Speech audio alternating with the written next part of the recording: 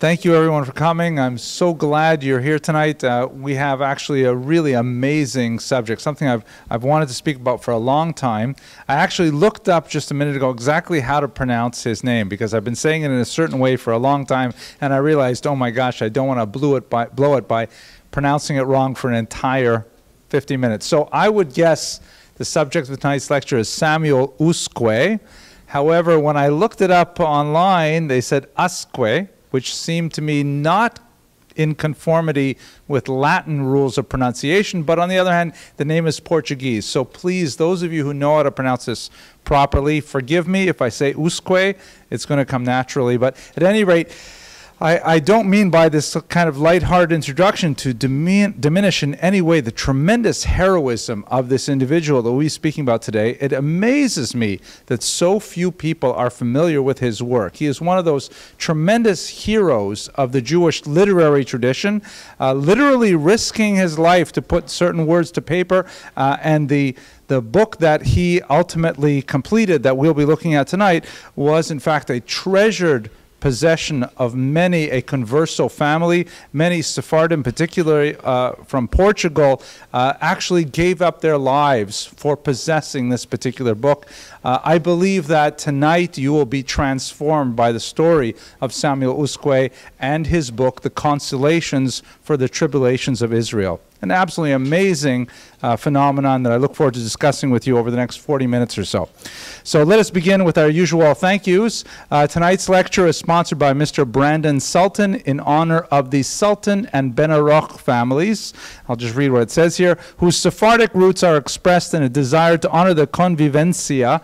That's what we discussed last semester, right? The, the coexistence of Muslims, Jews, and Christians for that brief period of time in, um, in early Al-Andalus, and also in loving memory of Mrs. Jean Milstein, whose relentless optimism was an inspiration to us all. I also have to make a good and so thank you to Mr. Sultan, who is a regular viewer of these lectures online.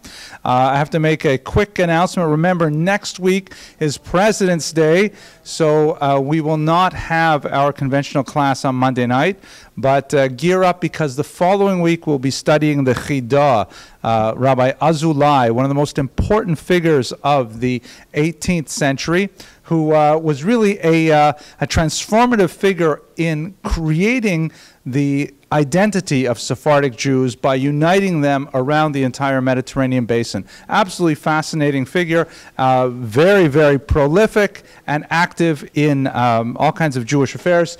We are also short, unfortunately, a sponsor for next week. So if anyone would care to donate to our Student Scholarship Fund, uh, we ask for $250 to make these lectures possible, and the money goes entirely 100% to our students to help them pay the uh, sometimes difficult tuition bill because college is expensive, and in order to make this work, we try to help them out in every way possible.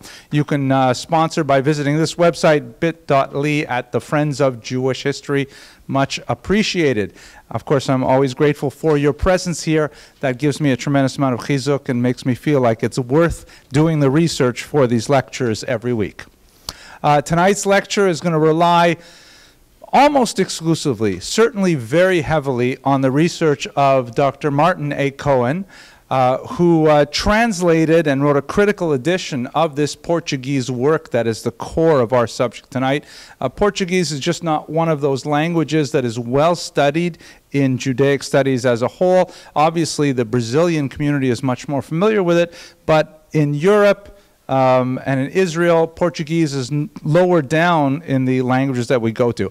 Nevertheless, we have essentially a Shakespearean work, something of, of that great status in Portuguese literature, authored by the, the uh, Jewish individual that we'll discuss tonight, Samuel Usque, and uh, we're deeply grateful to Dr. Cohen for his pioneering research in many areas of Sephardic studies. We'll be returning to his research when we look at conversos and crypto Jews here in the Americas, uh, where he's done quite a bit of research as well. So that's kudos to Dr. Cohen. Let us now go right to the topic at hand what exactly are we talking about? We're going to focus on this book here, which is truly a most dangerous book.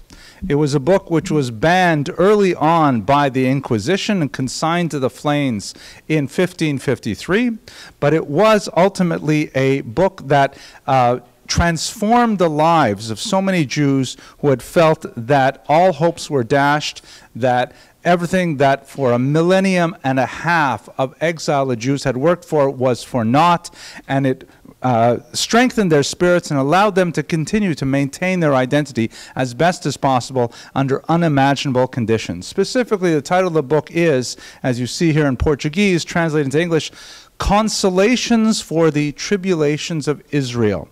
Uh, it was published in Ferrara, Italy in 1553. I've discussed uh, Ferrara a little bit last week when we looked at the life of Benvenida Abravanel. This was produced through her sponsorship and also that of her rival, Gracia Mendez. We'll return to those two very important women to understand how they related to this particular book. And it was also authored and printed in a period when printing was still fairly rare. That this is the, uh, the heyday of early printing, the discovery of this new technology that allowed for wide dissemination of texts.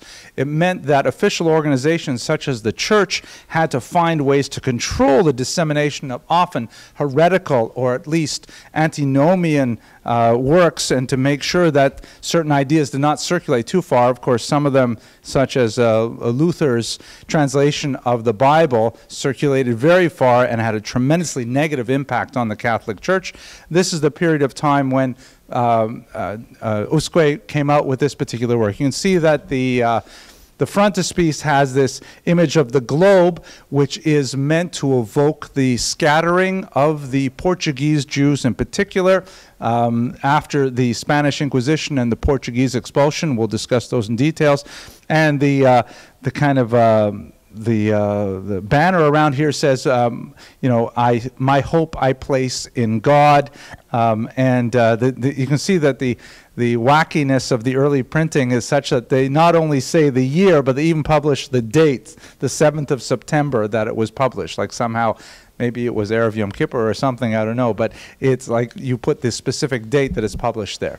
Now, just to give you a sense of what this book meant, we can look at some of the Inquisition trial records, of which we have copious uh, numbers. Ironically, this is a theme that we've come back to many times, really, since the, the fall semester, there are uncanny parallels between the Spanish Inquisition and expulsion and the Holocaust of the last century so many parallels in terms of social developments, in terms of how uh, governing authorities dealt with the challenges of a changing society and so on. And in one of those areas, we see again that just like the Nazis, Yamach Shamam Zichram, kept such incredibly detailed records, and they were very, very particular about what exactly happened when, to whom, and who would manage it, and so on. The Inquisition also had very, very detailed records. And so scholars scholars who wish to understand the mechanics of destruction of that 14th and 15th century have a tremendous amount of material to work with. So specifically, uh, there was a Portuguese Jew named Thomas Fernandes. Most Jews took Christian names when they were baptized. He was certainly not a new converso. He was probably several generations into uh, Christian identity, but of course they had retained their, their attachment to Judaism nevertheless. He was arrested in Lisbon in 1558 and he was tried for quite some time before he was eventually sent to the flames. Specifically, he was tried for crimes that he had allegedly committed, that is, crimes against the faith, while he was in Bristol, England. You'll recall, by the way, I have to do a very quick review for those who I see a few new faces here. Welcome.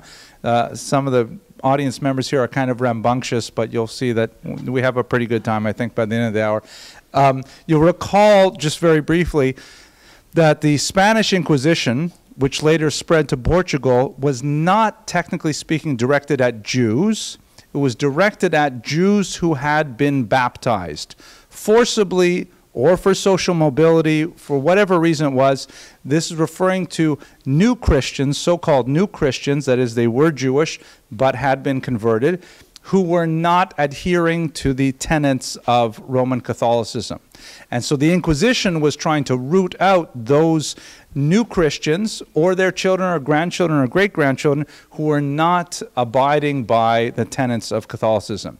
Uh, later, in, in 1492, the Spaniards expelled all the Jews as opposed to the new Christians who were allowed to stay, but they expelled the Jews because the, um, they were suspected correctly of continuing to maintain contact with the so called new Christians and to be a center of, of authority and education and religious practice to these forcibly converted Jews who are now Christians. So the Inquisition is directed technically at Christians who are suspected of harboring Jewish beliefs. The expulsion was directed at Jews per se. Hence, you have this distinction in terminology the Spanish and Portuguese Jews, because uh, many of those Jews who are called Spanish were in fact Jewish and expelled.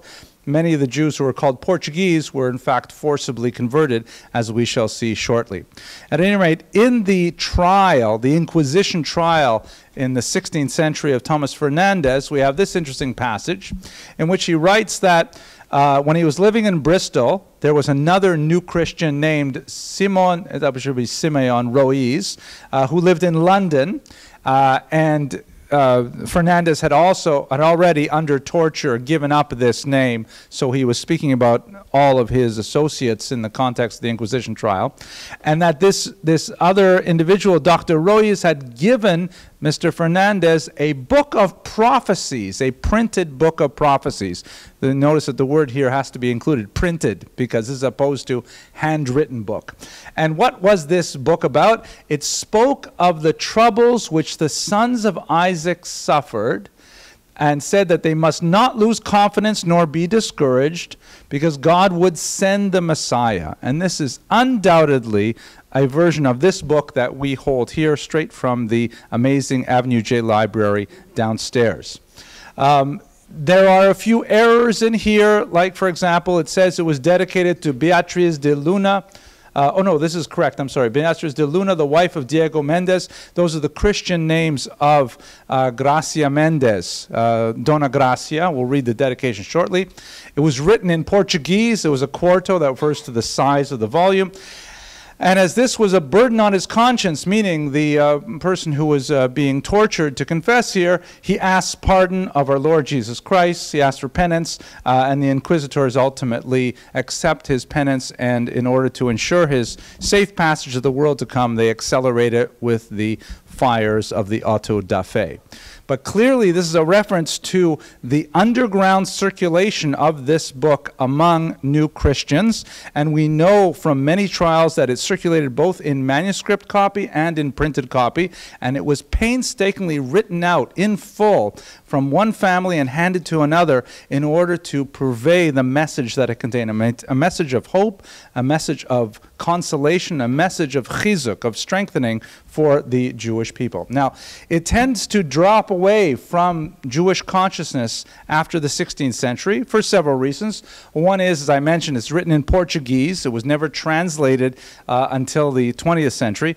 Portuguese Jews did have some familiarity with Spanish, and in fact, the author himself writes uh, that he could have chosen Spanish as a language to convey his message, but he felt he really wanted to reach the most desperate of those Jews, those ones who were living in that liminal space between being fully Jewish between being fully Christian, uh, he chose Portuguese specifically, so that limited it to some degree. Uh, it could be that the reason why it fell out of circulation is because in 1553, almost immediately after it was printed, uh, the papacy uh, instituted a mass book burning of Jewish texts, and it probably got caught up quite a bit in that first uh, major uh, book burning of the 16th century. And also, it may speak to the tremendous secrecy with which the Converso community guarded this treasured book that uh, we only know about it primarily from what the inquisitors have to say. Uh, it does make some impact on the literary tradition, but unfortunately, uh, many other tribulations rose up shortly thereafter, and it tends to get lost. Let us, though, now look to the history of the Jews of Portugal to try to place Usque's specific work within that context.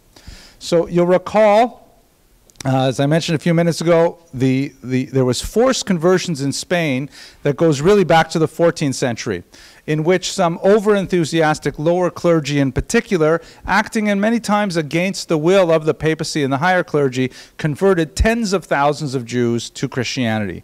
And those Jews who were baptized were suddenly trapped because the Catholic Church does not recognize the institution of forced conversion, at least not in the 14th century. In other words, if a person was baptized, even against their will, they were nevertheless uh, Christian. As, as I think we mentioned last semester, we talked about the terrible case of Edgar Mortara, who was already in the 19th century, was kidnapped by the church because the maid in his home thinking that he, as an infant, was going to die of scarlet fever or something like that. She had him baptized because she worried about his eternal soul. And when the uh, papacy found out, they actually kidnapped him and never returned him. He grew up as a priest and uh, engaged even in, in proselytizing with Jews. Steven Spielberg is coming out with a major motion picture about the Mortara affair, which is certain to be a blockbuster. At any rate, you've got in Spain now this massive population of Jews who are, who are forcibly converted, who now have free reign in the economy and society of Spain because they're no longer held captive by the restrictions that were associated with their prior Jewish identity. This was very upsetting to the social, political, and economic order, uh, and especially because many of these Jews continued with their traditional Jewish practice and associations, marrying with other new Christian families, sometimes even with Jewish families, and sometimes you would have uh, marriages at, into old Christian families. It was highly destabilizing. So the uh, Ferdinand and Isabella brought in the Inquisition to control that movement, and ultimately in 1492 they decided that's it. We're going to get rid of the Jews, and hopefully that will solve the problem because now these conversos will have no one to whom to turn. Uh, they were very wrong. Ultimately, of the Jews who were expelled, many of them fled to neighboring Portugal here on the coast.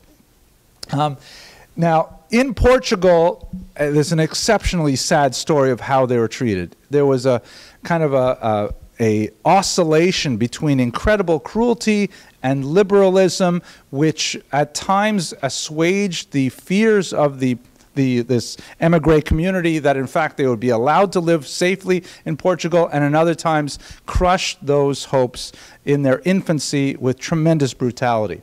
We look at um, now, I would like to say my favorite king, but that's only because I like his name. And I know I mispronounced everything. It's Joao, right? Olivia, is that how you say? Joao. But I like saying it Joao, though it's not right. But anyway, this is Joao II, who uh, in 1492 admitted the Jews and said, listen, I see there's thousands of you pouring across my border. Um, you're all very wealthy. The Jews are known as being the leaven of the economy. So you can come in here, you can bring your wealth, you can pay a special tax, and you can live here for eight months until you sort yourselves out, until you figure out where you're going to live. Uh, and in the meantime, once he realized how valuable this new immigrant community was, he said, you know, we should really keep the Jews here. But rather than uh, simply open up his borders and give them free reign, he figured it would be much easier if they came and stayed, but as Christians. So he exposed them to many forced conversionist sermons, which were de rigueur and very popular since the 13th century in Spain um, after the, uh, the Barcelona dispute with Nachmanides. Uh, and uh, his successor was especially cruel. Um, no, I'm sorry, it was also, uh, I'm sorry, Joao the, the second.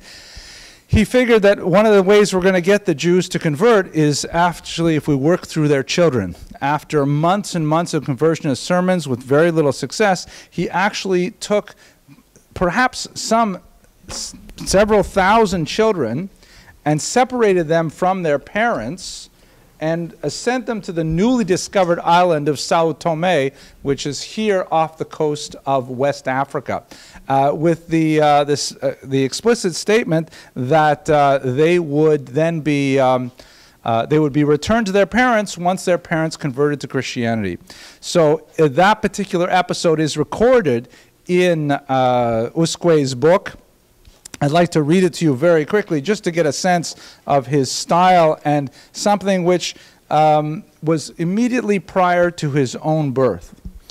Um, to my misfortune, he puts it in the present in the uh, first person singular, uh, because the narrator is none other than Jacob the patriarch, uh, who describes in a kind of symbolic way all of the suffering of the Jews throughout time. So he writes, To my misfortune, the island of Sao Tome had recently been discovered. It was inhabited by lizards, snakes, and other venomous reptiles, and was devoid of rational beings. Uh, they used it, for example, to uh, house a slave fortress for the um, burgeoning transatlantic slave trade that would uh, dominate the region. Here the king exiled condemned criminals, and he decided to include among them the innocent children of these Jews. Their parents had seemingly been condemned by God's sentence. When the luckless hour arrived for this barbarity to be inflicted, mothers scratched their faces in grief as their babies, less than three years old, were taken from their arms. Honored elders tore their beards when the fruit of their bodies was snatched before their eyes. The fated children raised their piercing cries to heaven as they were mercilessly torn from their beloved parents at such a tender age. Several women threw themselves at the king's feet, begging for permission to accompany their children, but not even this moved the king's pity. One mother, distraught by this horrible, unexampled cruelty, lifted her baby in her arms and, paying no heed to its cries, threw herself from the ship into the heaving sea and drowned, embracing her only child. Thus, those innocent souls were removed from their parents' sweet tenderness by such inhumanities and delivered into the power of merciless enemies. O brothers, who could describe to you the hidden and visible anguish which cloaked all my children? The sighs, the tears, the bloody and febrile groans which were heard in all their houses. For there are no words of consolation to relieve a pain so great, even though each one had good reason to hope for consolation. He goes on to say that when these innocent children arrived at the wilderness of Sao Tome, which was to be their grave, they were thrown ashore and mercilessly left there. Almost all were swallowed up by the huge lizards on the island, and the remainder who escaped these reptiles wasted away from hunger and abandonment. Only a few were miraculously spared that dreadful misfortune. Absolutely horrific, unimaginable kind of persecutions that were meted out to the Jews in an attempt to bring them into Portuguese society as Christians. But unfortunately, it gets worse. So this is a picture of his successor, uh, Manuel I. Manuel I, the king, wanted to create a dynastic union with uh, Spain uh, creating one Christian dominion for the entire peninsula. And so, in order to effect this, he in, uh, agreed to take the daughter of Queen Isabella, the Infanta Isabella, as uh, his wife, creating a dynastic union. Um, Isabella and Ferdinand, very doctrinaire, anti Judaic individuals, uh, insisted that they would not form a union with a country that still permitted Jews in its midst. So Manuel agreed to expel all the Jews uh, in 1497 in a manner similar to the Spanish expulsion of 1492. Uh, this is, by the way, uh, not Isabella's daughter. This is his uh, second wife, Maria. Isabella died in childbirth, and so he then married her sister in order to uh, preserve the union. the, the expulsion of the Jews from Portugal or the agreement to expel them, ironically, is, as the historian Prescott put it, uh, the first time that Jews were persecuted out of love. Ironic, right? Because he loved, you know, it's not really funny. I don't know why I said it. Maybe I'll just cut that out of the internet because it doesn't make sense. Yeah, we're talking about the lizards. Now we're talking about, oh, forget it. Okay, so um, what did he do? So he decided, I'm going to expel all the Jews, but then he realized, you know what? Once again, like his predecessor, the Jews are very valuable. So instead, you know what? Let's just baptize them all instead. Let's just make them Christian. That way we'll keep their wealth, we'll keep their know how. It's only a few thousand Jews, anyways. Uh, and so, through various stratagems, he actually brought them to the seaside. And before boarding boats, they were uh, baptized, and suddenly they became Christians. No more Jewish problem in Portugal. And then immediately thereafter, he closed the borders. And he said that no new Christians may leave Portugal. So, one of these ironic situations in which the Jews are not free to practice their religion, they are free to be Christians, and they're not free to leave either. They must remain within the boundaries of Portugal with their wealth and their economic know how and so on. So, for the next several decades, Portuguese Jews are trying desperately to kind of uh, uh, escape Portugal and find a place where they can practice Judaism freely. In Amsterdam, Salonika, Constantinople, places like that, Sfat, these are places where the Portuguese Jews, who were only a few years earlier Spanish Jews, are now trying to find ways to live their life uh, freely as Jews. But they're terribly afraid, with good reason, that if they are discovered trying to leave, then they will be subject to tremendous persecution. Mob violence uh, dominates the Jewish experience in Portugal over the next couple of decades. In 1503 again, so this is 1497 when they have been forcibly baptized. Uh, technically expelled, but then forcibly baptized to stay in Portugal. 1503, there's a famine and the Jews are, of course, blamed for the famine, and there's mob violence. That is not Jews, these are the conversos, right? The Jews who have been converted to Christianity. Their presence is viewed as the reason for the famine. Uh, there's hyperinflation a few years later, and once again, the Jews are blamed for the hyperinflation. In 1506 is an especially terrible moment when. Um, there's a uh, someone in church in I believe it was Lisbon, right? It is in Lisbon on Easter Sunday remarked that an icon of the Virgin Mary was glowing with a supernatural light, and one of these new Christians, uh, a baptized Jew, says it's just the reflection of a candle and the suggestion that the uh, that it was a natural phenomenon created a horrible massacre in Lisbon, in which uh, even lay clergy also participated. Um, and we can list several of these kinds of like mob reactions because the general population is not happy with the introduction of these new economic competitors who now, as Christians, even though everybody knows they're not really enthusiastic Christians, are beginning to dominate the, uh, the economic echelon society. There is a little bit of a liberalization under Joao III uh, in 1521 uh, but then there's a series of more uh, pogroms, really, after uh, there's a crop failure and several other things that go wrong.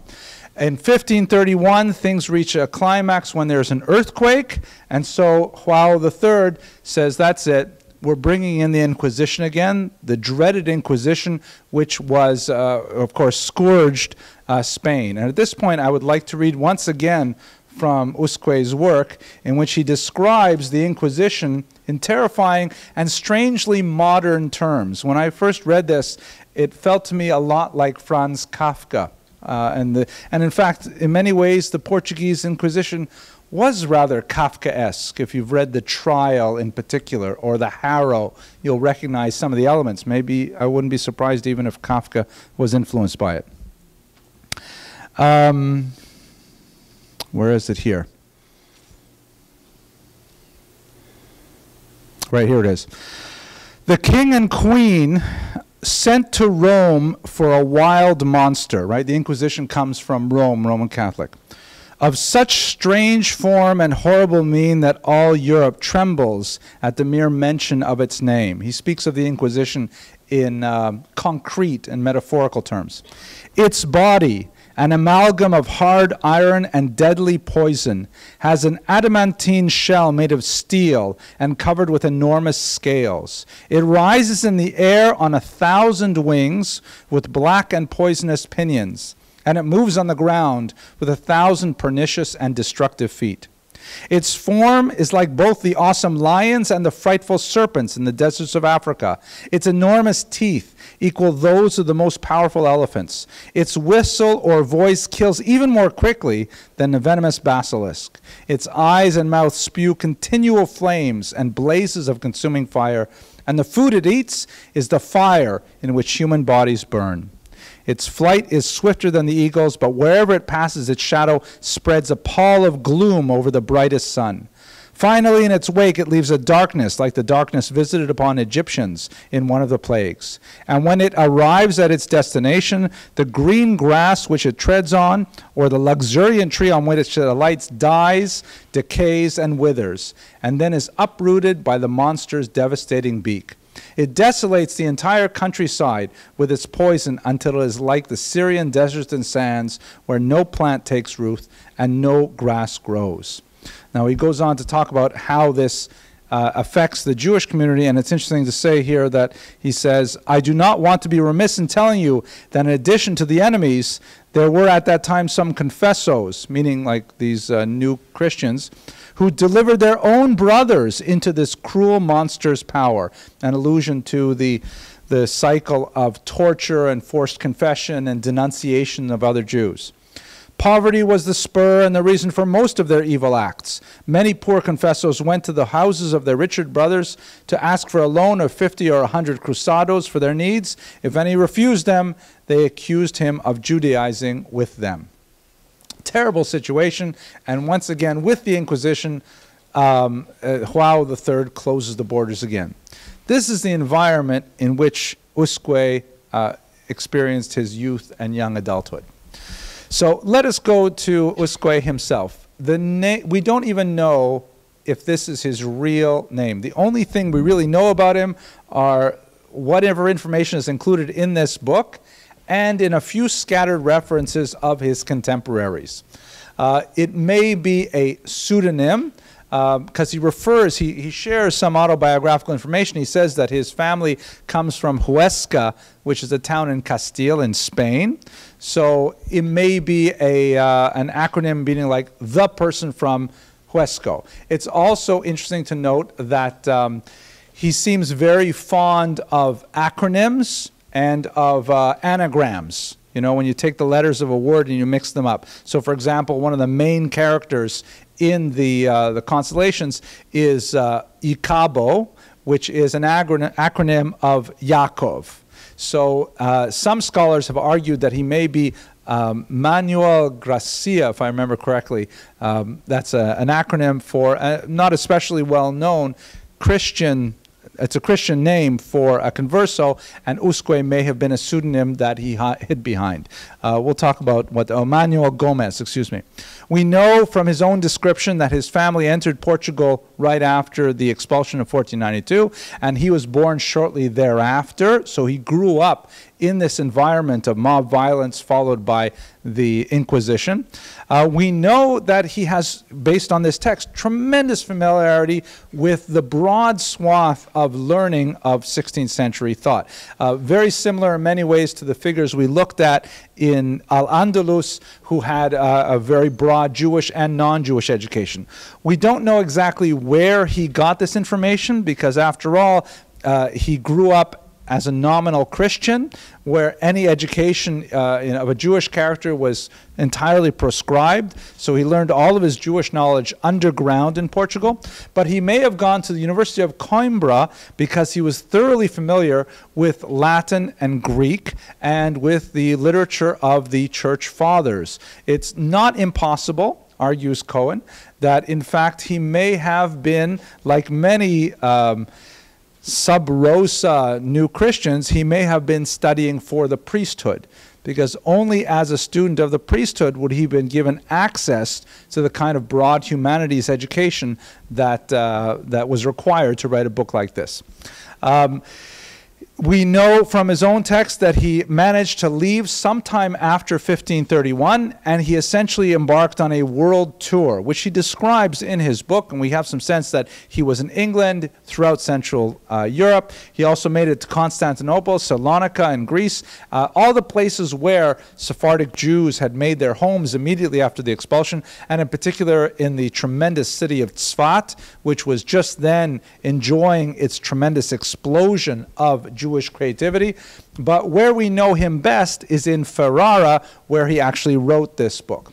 Ferrara was the home of Dona Gracia and Benvenida Abravanel, the subject of last week's lecture, uh, two incredibly powerful and wealthy women who used their political might and their uh, political acumen and their considerable resources to defend Sephardic Jews worldwide through ransoming captives, to engaging in geopolitical machinations such as the attempted boycott of the port of uh, uh Antona and, uh, Ancona and so on.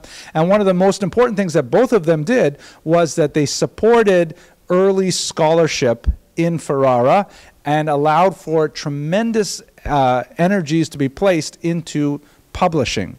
Uh, the Ferrara Bible shown here is uh, the, uh, the result of their efforts. This is exactly in the same period as uh, Usque wrote his book, and you can see in this particular image, which is written, uh, the Ferrara Bible written in Spanish, uh, for those who, who fled the Inquisition, you can see the, the, this motif, very beautiful, of these terrifying gargoyle-like fe features that sort of remind me of the winds, perhaps. They're, they're blowing the winds. And here's a ship that's clearly in distress. The mast is broken, and there are these sea monsters in the water. And this is kind of metaphorical of the, of the Spanish Jews being exiled from their homeland, going throughout the Mediterranean, even crossing the Atlantic to the New World uh, with tremendous danger.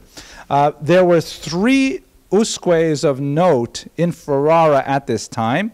And scholars have wondered, you know, how could it be that this is a name, which, by the way, we don't even know how he spelled it in Hebrew. We only have it in the um, in Portuguese and Roman letters.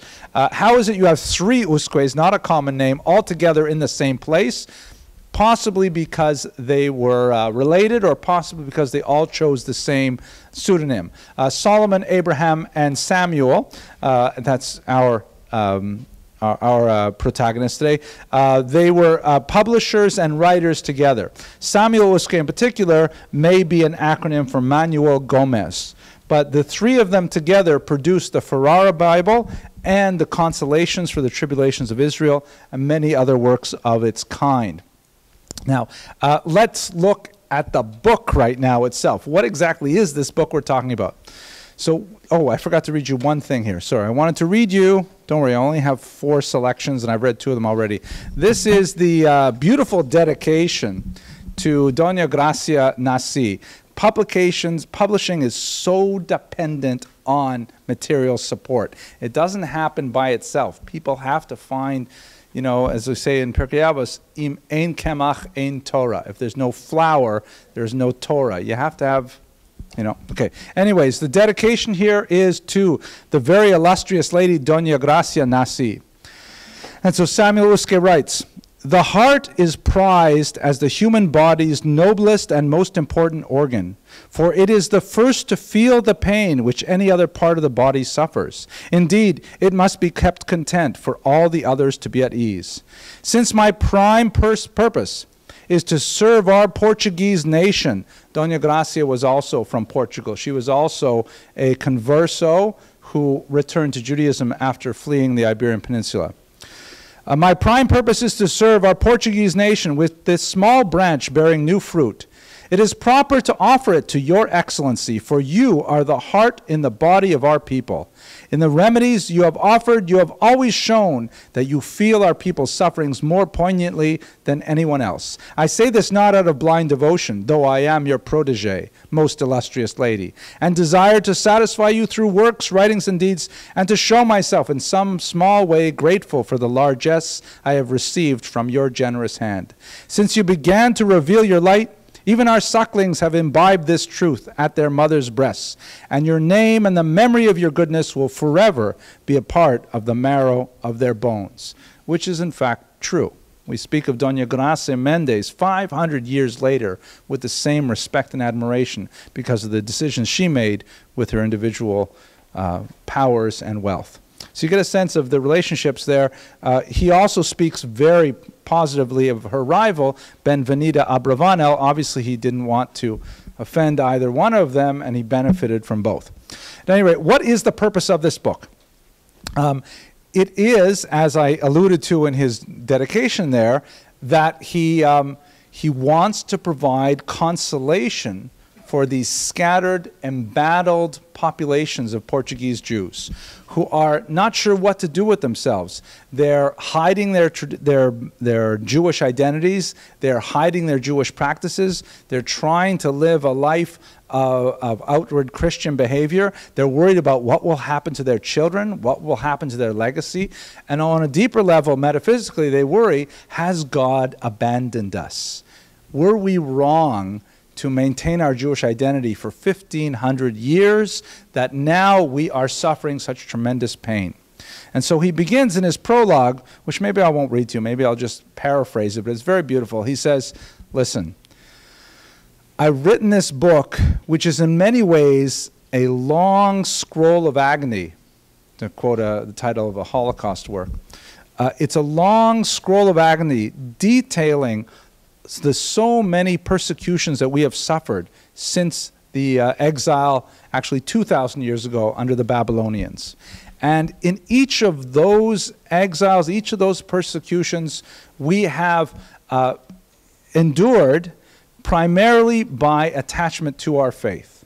He spends a lot of time talking about how the persecution itself is embedded in biblical texts, that, you know, this particular thing happened here, and you can see an allusion to it in the book of Deuteronomy. Some of those parallels are absolutely chilling. And of course, we can do the same in our own generation looking at the Holocaust, where we see the, uh, the similarities between these far off prophecies and some of the terrible things that we experienced. But nevertheless, the fact is that if the prophecies that describe the persecution were true, then it also follows the prophecies that describe the redemption are true. It's reminiscent, if you're familiar with the famous Talmudic passage, when some rabbis are, are surveying the disaster in Jerusalem uh, during the Hadrianic persecutions of the second century. And uh, some of the rabbis are moaning and wailing, and Rabbi Akiva, the greatest, starts laughing. And they say to him, Rabbi Akiva, why are you laughing? Oh, the, it was a specifically occasioned because they saw a fox running through the uh, ruins of the temple. And what a terrible thing to have a fox running through the Holy of Holies like that. And the rabbis say to him, Akiva, how can you laugh? And he says, I'm laughing because I know that if this has happened to Jerusalem, which was foretold in our prophecies, then we will also see the redemption that is similarly foretold in our prophecies. So, this book in Portuguese, for a Portuguese remnant, is going over and over again in often painful details the specific persecutions that Jews have endured historically and in a very long section at the end in their own person and in their own day in the 16th century. Absolutely fascinating structure and guide. Uh, I've mentioned already the, uh, the language is Portuguese because he was speaking specifically to his generation. Uh, the style is in the form of a dialogue particularly between three shepherds. There are these two shepherds who, uh, well, actually, I'll tell you that in the next slide, so I'll tell you. And the message I've already told you, so let's jump ahead. There's three dialogues in it. The first one introduces the, the three characters, where they, these are kind of like timeless people who live for centuries upon centuries. One of them is a shepherd named Icabo, which is an, an anagram for Yaakov, which um, is not a coincidence. Usque makes that clear in his introduction that this is what he's trying to do. And he is comforted by two other shepherds, one named Numeo, for whom Usque says is representative of the prophet Nahum. The word Nahum in Hebrew means consoler, one who consoles. And the other one, Zikareo, which is the prophet Zechariah, meaning the one who remembers. Zechariah remembering God, literally. And the first dialogue essentially has these three characters, and uh, it really does read Shakespearean in, a Shakespearean manner because they're speaking in very elevated language, and they're, you know, you get a sense of scenery. They describe where they're sitting, what they're doing, sometimes using metaphors of the hunt and hares and ostriches and lions and things like that. And he goes through the basic uh, elements of Jewish history in the first dialogue up to the Babylonian exile. Now, I should mention at this point, um, many scholars have kind of got lost in the weeds about this because as a historian, he's not so good. As a historian, there are lots of inaccuracies, and he is heavily dependent on poor sources. So he can only be as good as his sources, and quite often he's conflating dates and he's conflating events, and um, you know he's confused about certain basic elements. But that's not what he's trying to do. He's not trying to write a history. He's trying to write a book of consolation, and the the religious and psychological message is really what is prevalent here. The second dialogue uh, takes it from the return of the Jews in the 6th century before the Common Era right up until the Roman exile. And by the way, this is kind of an interesting piece. Uh, Dr. Steven Fine, a scholar at uh, Yeshiva University, recently discovered tiny traces of pigment in the famous Arch of Titus uh, frieze that. Um, that is in Rome, and uh, he was able to reconstruct the way it actually looked in the first century. Uh, so Romans, at the time it was built, actually saw a painted frieze that looked something like this. It was much more garish than the way that we see it today, but nevertheless, it was a very powerful thing. And if you can imagine, in a in a uh, in a pre-literate culture, this is an incredibly powerful, iconic reminder of the conquest of Jerusalem. Uh, at any rate, let us go on. The third dialogue is perhaps the most fascinating, and one that uh, many scholars have meditated on the most. Um, it goes from the post Roman exile, second century basically, right up until the 16th century, including some very lengthy descriptions of things that, um, that Usque experienced himself or his immediate prior generations. So he now becomes a much more important source for a discussion of the Spanish Inquisition, the exile, the Portuguese Inquisition, and so on. Uh, and he then leaves, he flees Portugal, and we have some sense of what Jewish life was like as he wanders around these scattered Sephardic communities uh, throughout the Mediterranean basin. The autobiographical material here is very rich and dense. You get a sense of who he is as a person and the tremendous sense of mission that he brings to the task of this particular literary endeavor. Uh, he ends with a very long prophetic conclusion in which he, he wraps up all of his, his uh, thoughts about the persecution of Jews and connects it specifically to the, uh, the coming of the Messiah, though he may tarry, with tremendous drama and feeling. It's hard to not be swept away with the emotion of this work. If you can imagine yourself in you know the, the kind of conditions under which Portuguese Jews would have been reading this. Perhaps they would have been working with a painstakingly hand copied version of it. Perhaps the head of the family would have been reading it by candlelight quietly in order not to uh, arouse the attention of, of neighbors. Uh, perhaps it would have been furtively studied in a, in a secret room in the house. Who knows how it was actually passed down from one generation to another, but we know that it had a phenomenal impact and it was a major feature in preserving the integrity of the Portuguese Jews in their tremendous suffering.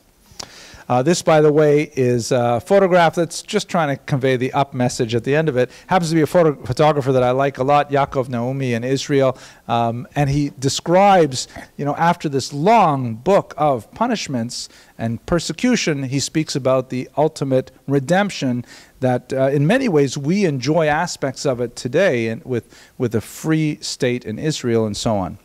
No theological content implied there. Um, so taking it as a whole, the legacy of uh, Samuel Usque is extremely uh, important, although very rarely studied. This is, by the way, a picture from Portugal to get a sense of the, the kind of environment in which they, they lost. And it makes me wonder, you know, since we have returned many times to this parallel of the Holocaust and the Spanish Inquisition and expulsion, it makes me wonder, you know, who is writing this kind of material for us today? Where are the authors who are giving us a coherent message that helps us assimilate the horrific persecution that the Jewish people endured last century into our contemporary Weltanschauung? Is it possible? Is it perhaps outrageous to ask for such a thing? But we don't have in my humble opinion, anyone at the caliber of Usque giving us that kind of message today. Thank you very much for your attention and your endurance. Remember, no class next week, but we'll begin the week after with a lecture on the Chida, and I can hang around for a few questions. Okay. Yeah. Hi, I hope you enjoyed that lecture. I myself got a lot out of studying Samuel Usque's work, and it was a great privilege to be able to speak about it to uh, an audience live last night. Um, you didn't see it in the end of the video, but immediately after I concluded, I was jumped on by a whole bunch of audience members who really wanted to push me on a couple things I said at the very end of the lecture. So I thought I'll use this moment to unpack some of their questions and explain a little bit better what I mean by this. We should bear in mind that in many ways we are in a parallel generation to Usque, that his experience 70 years after the Spanish expulsion has certain salient comparisons with the experience we have 70 years after the Holocaust. Now, I'm not going to take this 30 seconds or so that I have right now to go through all of the parallels, but there's no question that we are living in kind of like a not exactly a post apocalyptic era, but a post catastrophe era. And um, I think that we don't really have someone with the voice of Usque who's kind of like explaining it all for us in a way that we can grasp. Um, we have our poets of the Holocaust. We have our Elie Wiesels. We have many people with tremendously heroic stories of suffering during the Holocaust and personal and communal redemption. I, I myself studied the Aish Kodesh uh, from the Warsaw Ghetto, who was an incredible story, an incredible thinker from the Holocaust. But what we don't have, in my humble opinion, is we don't have someone 70 years out who's able to explain to us, the Jewish community as a whole, as to what the Holocaust means in the larger arc of Jewish history. How do we assimilate the Holocaust? Can we assimilate the Holocaust into our Weltanschauung? Um, how do we deal with the contemporary crises of, you know, assimilation and the the the challenges to the state of Israel and all kinds of really existential challenges to our very being at, at this point in time? Um, these are, are very big questions, and I feel in many ways like in this postmodern period where we're sort of floating in space, waiting for someone to kind of explain it all to us in a way that Samuel Usque did. Okay, anyways, those are my two cents. Uh, you heard more than my two cents already for the first part of this lecture. Uh, I hope it's food for thought, and uh, I look forward to speaking with you about Jewish history in the future. Thanks very much for watching.